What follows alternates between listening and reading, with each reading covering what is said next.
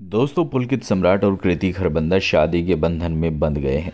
शादी के बाद दुल्हन रानी कृति अपने ससुराल पहुँच गई।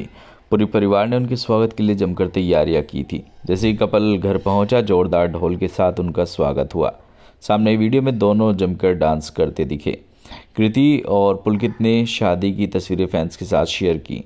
शादी के फ़ोटोज़ के साथ साथ उनके ससुराल के वीडियो भी इंटरनेट पर छाए हैं। परिवार वालों ने लाइट्स लगाकर नई दुल्हन के लिए घर की सजावट की है। कुछ देर पहले कृति अपने ससुराल पहुँच गई, साड़ी और चूड़ा पहने वो बेहद खूबसूरत दिखी। जैसे ही दोनों घर पर पहुँचते हैं, जोरदार ढोल बजना शुरू हो जाता है। फिर क्या था, दोनों जमकर डांस करते हैं। वीडियो में पुलकित सीटी बजाते दिखे तो कृति भी खुशी से झूमती नज़र आई। के साथ साथ पूरा परिवार भी बहुत खुश दिख रहा था और डांस कर रहा है।